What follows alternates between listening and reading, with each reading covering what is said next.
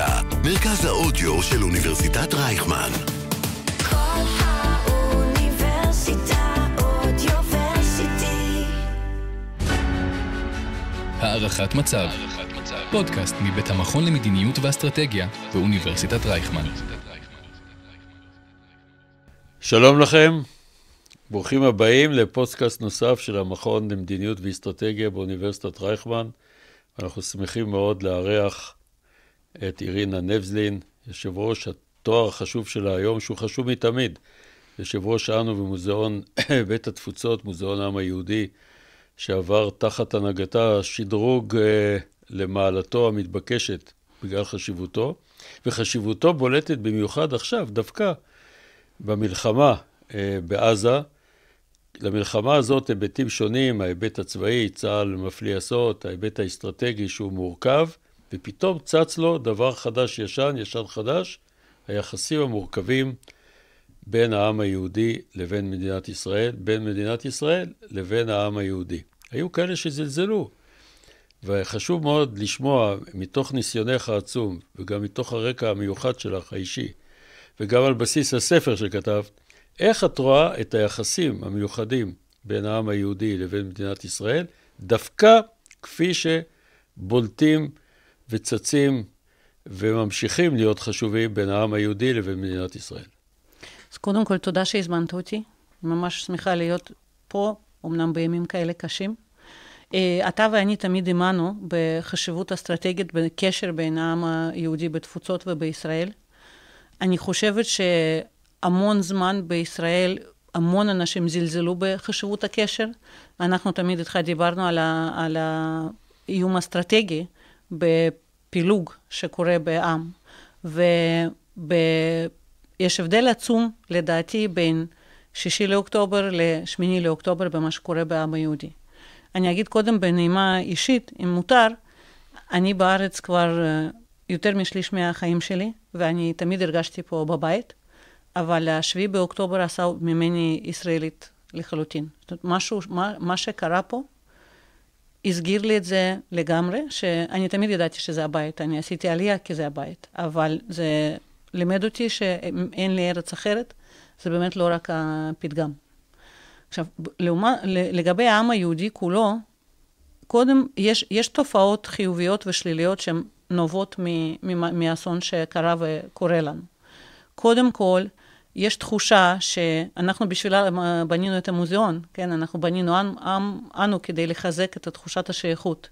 והתחושה הזאת של סולידריות התעוררה אצל המון יהודי תפוצות, שאני חושבת שלפני זה לא הרגישו אותה באותה עוצמה. אז זה דבר חיובי, לדעתי, שקרה עם ה... אם, אם אפשר לקחת משהו טוב מהאסון שקורה לנו, זה הדבר החיובי שקרה.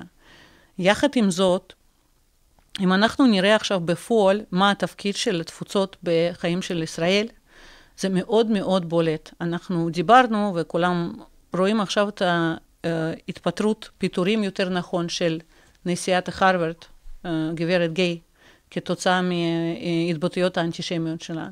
ומה שהביאה לזה היה העשייה המאוד מאוד עוצמתית של קהילה יהודית בארצות הברית, שעבדה כדי לדאוג שהבן אדם שמתבטא אנטישמי ולא מבין את גודל האסון, לא יהיה בראש הארגון כל כך חשוב כמו הרווארד. זאת אומרת, אני חושבת שבישראל צריכים בחזרה לקבל פרופורציות עד כמה חשוב לנו לדאוג לתפוצות, וכמה הקשר הזה הוא חזק והוא איום אסטרטגי אם הוא הולך ומדרדר.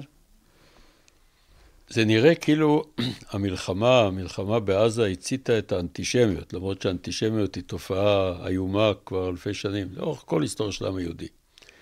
כיצד את רואה היום את התפקיד של הקהילות היהודיות לכשלעצמם, כלומר קהילת היהודים והיהודית בארצות הברית על כל זרמיה, צרפת, רוסיה, כמובן גם אחרי העלייה הגדולה.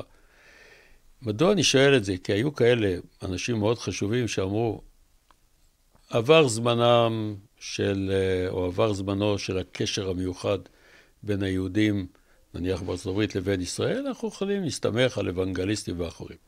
ואנחנו רואים שבקהילות היהודיות פתאום הם מגלים שישראל היא כמו ערובה לקיומם, ואנחנו מגלים שהתמיכה היהודית היא כל כך חיונית. גם זה לא חדש, אבל זה נשכח ונזנח. איך את רואה את התפקיד של הקהילות היהודיות ואת הזיקה כמשתמע מכך מול ישראל וההפך? אז אני אגיד קודם כל שלדעתי האנטישמיות היא מחלה כרונית. לצפות להבריא ממנה או לצפות לצמצם אותה זה דבר נפלא. אני חושבת שצריך לקבל את זה שבמציאות האנטישמיות היא תמיד קיימת, ובכל משבר שקורה בעולם, בסופו של דבר זה מתחמם ויורד, אבל זה תופעה כרונית. אז קודם כל, אני רוצה לשים את זה על השולחן. כמובן שבמצב שאנחנו חיים עכשיו, האנטישמיות עולה, וכל דבר שקורה בישראל הוא אנטישמיות עולה עכשיו. הקהילות יהודיות ברוב המדינות בעולם, לדעתי עכשיו, בסכנה קיומית. אני לא יודעת אם יש עתיד לקהילות יהודיות באירופה, אני בספק אם יש מה העתיד של אירופה, בואי נתחיל מזה, אבל אני לא יודעת מה, מה העתיד של קהילות יהודיות באירופה, וקודם כל צריך לדאוג לביטחון שלהם. זה אנחנו במצב של באמת בעיות לא, לא רק פילוסופיות, אלא בעיות קיום ובעיות של ביטחון פיזי של קהילות.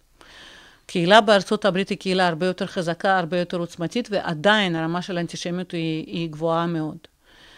אה, מבחינתי, זה גוף שהוא גוף אחד, היהודי ישראל ומדינת ישראל ויהדות התפוצות. והבעיה שלנו מתחילה כשאנחנו מתחילים להסתכל על זה כשני גופים. שום, פי, שום דבר שקורה בישראל לא יכול שלא להשפיע על חיים יהודיים בתפוצות, והתפוצות לא יכולים להתקיים בלי, בלי ישראל. אני חושבת שעכשיו הקשר הוא צריך להיות חזק מתמיד בינינו. אני חושבת שצריך לזכור שהקשר הוא עם המדינה. אתה יכול לבקר את ההתנהגות של ממשלה כזאת או אחרת, זה לא כזה משנה, הקשר הוא הרבה יותר עמוק והרבה יותר רגשי, וצריך לשמור עליו.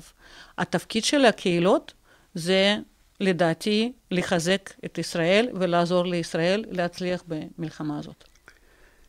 נראה שהמלחמה הקשה הזאת, במיוחד שהתחילה מהשבת השחורה, 7 אוקטובר, הארורה, שבת הארורה, זאת שמחת תורה, היא גם חשפה אור גנוז של אחדות של העם, של עם מאוד איכותי, של אנשים ונשים, נשים גם במיוחד, בלטו פה לטובה, ממש עם נפלא.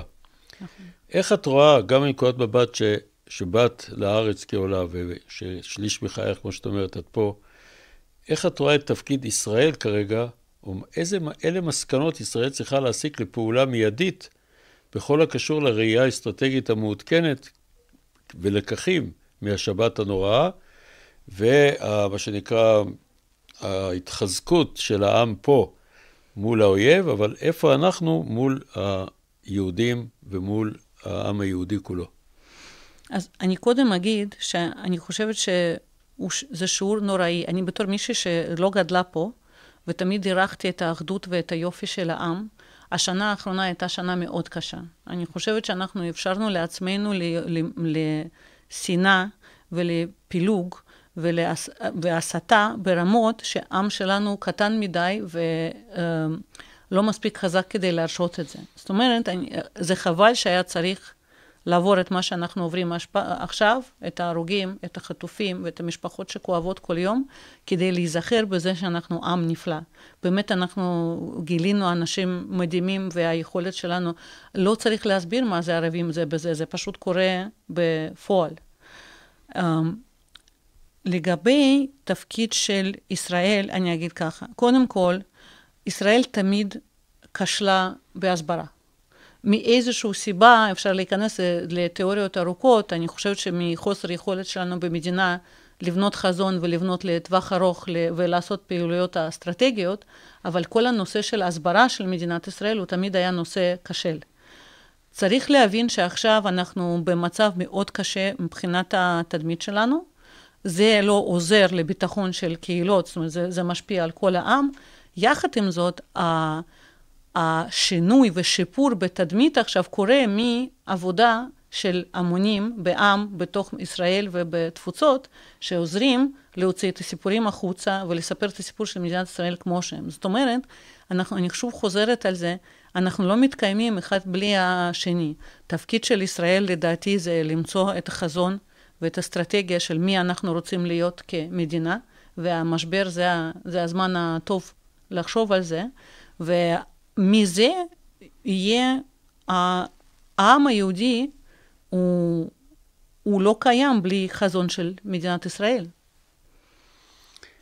יש שתי שאלות uh, מעניינות. אחת זה כמובן שוב האנטישמיות, שמאוד מטרידה, כי הייתה תמיד נדחקה לקרן זווית. ושתיים, חשובה לי מאוד דעתך, יש המשווים את uh, אירועי השבת השחורה לשואה.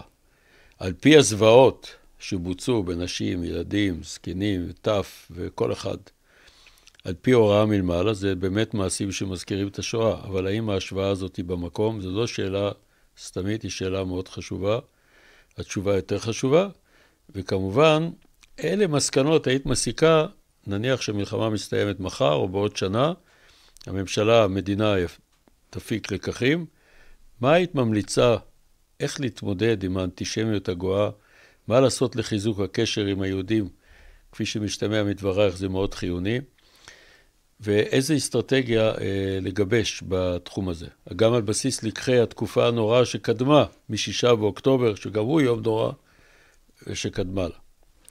אה, לי מאוד קשה עם השוואה של זוועות של 7 באוקטובר ואחרי זה עם שואה.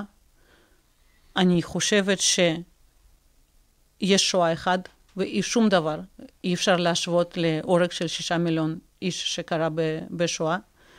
אני גם חושבת שלהשוות משהו כשאנחנו היינו בלי מדינה, קרה אסון, קרה טעות, קרו הרבה טעויות וממשיך לקרות אסון.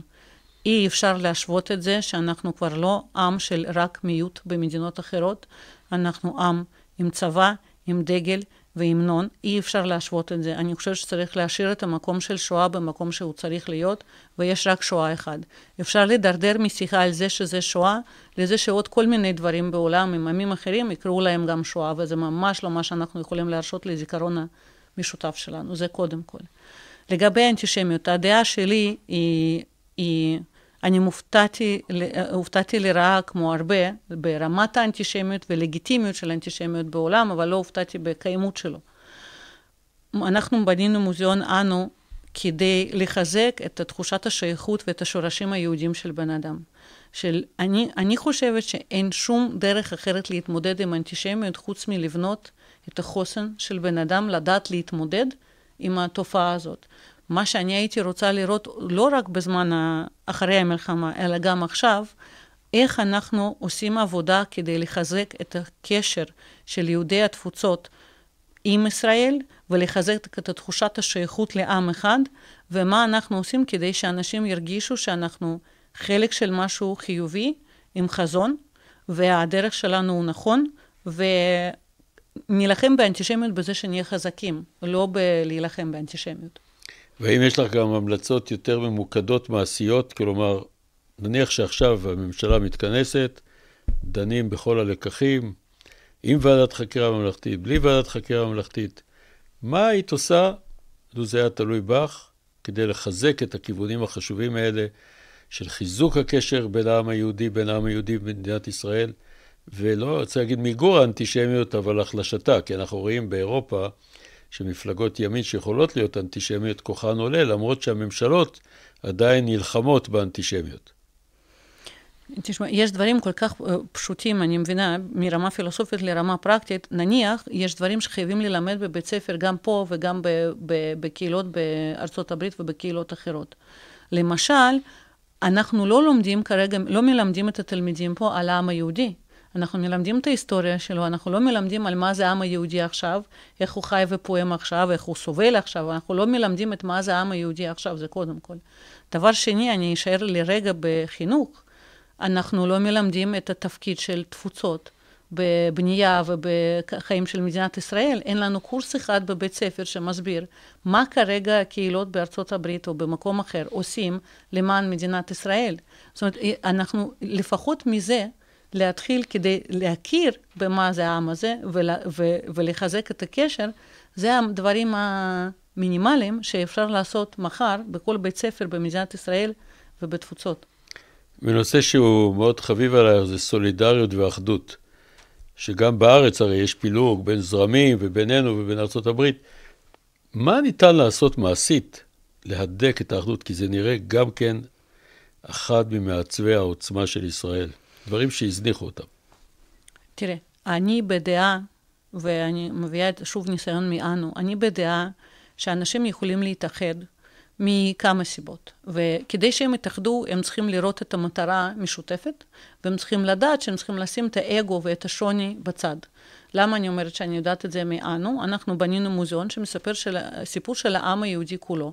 אף אחד לא, שם לא נראה, את מי שאנחנו מייצגים, לא נראה אותו דבר כמו שאחר, ועדיין אנחנו מצליחים לספר סיפור של כל אחד. איך אנחנו מצליחים לעשות את זה? היה לנו חזון. החזון היה לספר סיפור של מי זה העם הזה, ולהיות גאים בעשייה שלו. עכשיו, מה זה נותן? אפשר בפרופורציה לשים את האגו, את החשיבות עצמי, בצד, ולהתרכז בסיפור המשותף. אם לא יהיה לנו סיפור משותף לספר על מה צריכה להיות מדינת ישראל, ואני חושבת ש-80% של העם מסכימים שהיא צריכה להיות, אם לא יותר, מדינה יהודית ודמוקרטית, שזה שלעצמו מאוד קשה, אבל מה לעשות, שום דבר לא קל בשביל יהודים. אז אם אנחנו לא נתרכז בנרטיב חדש של מה צריכה להיות מדינת ישראל, אנחנו נמשיך, נמשיך בלריב על, על דברים שהם לא באמת מהותיים. אז אני חושבת שהחזון הוא הדבר היחיד, חזון והביצוע חזון, הוא הדבר היחיד שיכול לאחד ביניהם. וחינוך. וחינוך. טוב, לצערי אנחנו מצליחים אה, לסיים, כמו תמיד אה, אפשר להמשיך בלי סוף איתך, בשיחה כזאת איכותית. יש לך המלצות אישיות או נקודת מבט אישית מכל הרקע המגוון שלך, החל מ-7 אוקטובר ואילך. מה לעשות? כן. בראייה כוללת. פח... להיזכר שלהיות יהודים זה, להיות, זה משהו מיוחד, זה לא תמיד פשוט. להיות ערבים זה בזה בצורה שאנחנו ממשיכים, ולהמשיך ככה, לא לשכוח מזה בעוד אה, שנה או שנתיים, ולא להיות ככה רק כשיש לנו אויב משותף, ולזכור שבסוף ההבדלים האידיאולוגיים, שאנשים כל כך שמים המון משקל לגבי הבדלים, הם לא קשורים לשום מציאות של יום-יום. בסופו של דבר החיים הם במשפחה, בקהילה, בעם, ולזכור שביחד אנחנו תמיד יותר חזקים מבנפרד. תודה רבה, אירינה. אנחנו נשמיע את הרעיון החשוב הזה, את השיחה הזאת, את הפודקאסט, אה, סביב 27 בינואר, זה יום השואה הבינלאומי, יום השחרור של מחנה ההשמדה הנורא הזה, אושוויץ, שלא היה כדוגמתו, כמו כל השואה בהיסטוריה של המין האנושי. אה, זה מאוד חשוב שאנחנו יכולים להוסיף מימד איכותי נוסף לסדרה של שינויים אסטרטגיים שנדרשים במדינת ישראל, כדי שמדינת ישראל כמדינת העם היהודי תוסיף ותתקיים. תודה רבה. תודה רבה לך.